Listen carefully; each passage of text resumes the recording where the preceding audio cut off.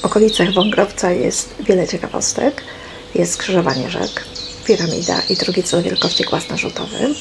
Jest też kilka dworków należących do rodziny Swiniarskich, która stworzyła jedną z największych fortun w Wielkopolsce. Obejrzymy trzy kościoły. Jeden z muru pruskiego, dwa drewniane, w tym jeden najstarszy w Polsce. A obok Kwary w Wągrowcu jedyny pomnik pierwszego tłumacza Biblii, księdza Jakuba Wójka.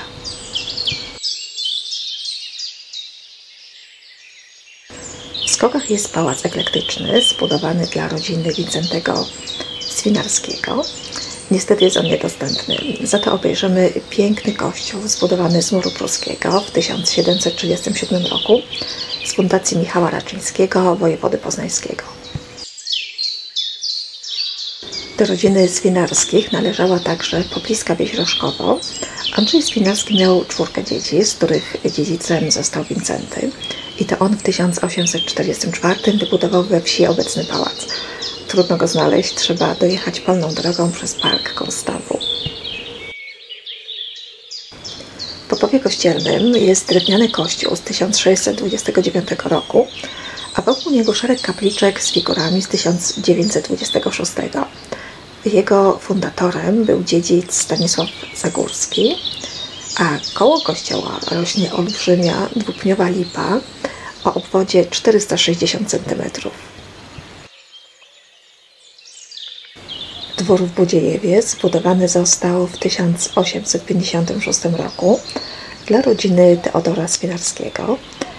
Był on kuzynem w szóstym pokoleniu Wincentego z Rożkowa. Teodor ciężką pracą doprowadził majątek do rozkwitu, a ożenił się, będąc już niemłodym, ze Stefanią Chrzanowską Herbopora z Czechowa. Miał z nią dwie córki, Lucynę i Annę i Anna była ostatnią dziedziczką majątku w Budziejewie.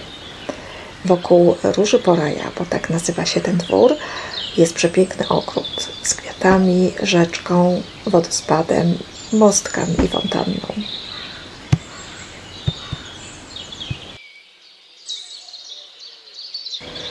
Nieopodal we wsi Budziejewko znajduje się kamień świętego Wojciecha. Jest to drugi pod względem wielkości głaz w Wielkopolsce, po kamieniu świętej Jadwigi koło Gołuchowa. Według legendy z tego kamienia miał głosić do okolicznego ludu słowo Boże Święty Wojciech. Przy granicy Wągrowca w miejscowości Łaziska znajduje się nietypowy grobowiec rotmistrza wojsk napoleońskich Franciszka Łakińskiego. Jest to sześciometrowa piramida, z którą wiąże się niezwykła legenda. Łapiński przepowiedział, że Polska odzyska niepodległość, gdy sosny znajdujące się obok jego grobowca przerosną go. No i słowa okazały się prorocze. W Tarnowie Połuckim zachował się niesamowity zabytek. Jest to drewniany kościół, najstarszy w Polsce. Na podstawie przeprowadzonych badań dendrometrycznych stwierdzono, że do konstrukcji kościoła użyto drewna sosnowego, które ścięto na przełomie 1373-74. Całe wnętrze świątyni pokrywa przepiękna polichromia. Mm, ta w nawie powstała w roku około 1639.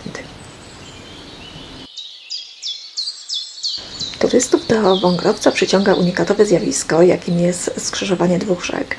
Na świecie są tylko dwa skrzyżowania rzek, gdzie wody nie mieszają się ze sobą, tylko płyną swoim nurtem. Tutaj y, w Wągrowcu nie jest to zjawisko naturalne. Ono powstało podczas prac melioracyjnych przeprowadzonych przez Cestersów w 1830 roku. Zapewne widok z wieży widokowej jest piękny, ale niestety, żeby wejść na wieżę widokową, trzeba się umówić wcześniej telefonicznie. Przy późnogotyckim XVI-wiecznym kościele farnym znajduje się jedyny pomnik w Polsce księdza Jakuba Wójka. Jakub Wójek zmarł w 1597 roku, a po 30 latach ekshumowano jego ciało. Całe obróciło się w proch oprócz prawej ręki. Ciekawe jest to zjawisko, bo na przykład u świętego Antoniego zachowały się struny głosowe i język. Ksiądz Wujek y, ukończył Uniwersytet Jagielloński i organizował wiele szkół jezuickich, również kolegium jezuickie w Poznaniu, które było konkurencyjne dla Szkoły Lubańskiego. Był jego pierwszym rektorem. Obecnie w tym budynku znajduje się Urząd Miasta. Był również rektorem kolegium w Wilnie, jednak przekazał ten urząd Piotrowi Skardze i wyjechał na Węgry, gdzie też tworzył, stworzył kilka szkół.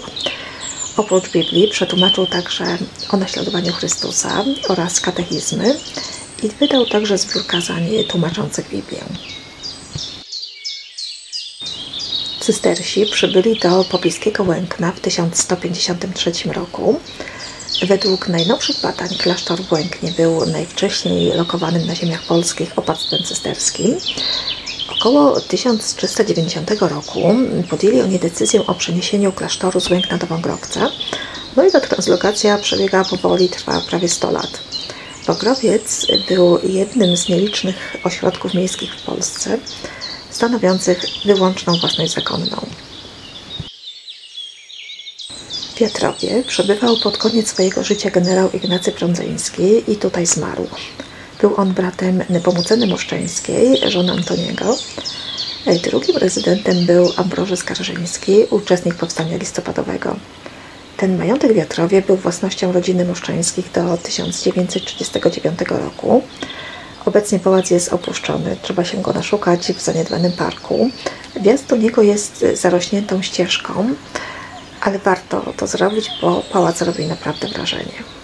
Więcej informacji i gotowy plan wycieczki znajdziecie na moim blogu Znajdź swój szlak.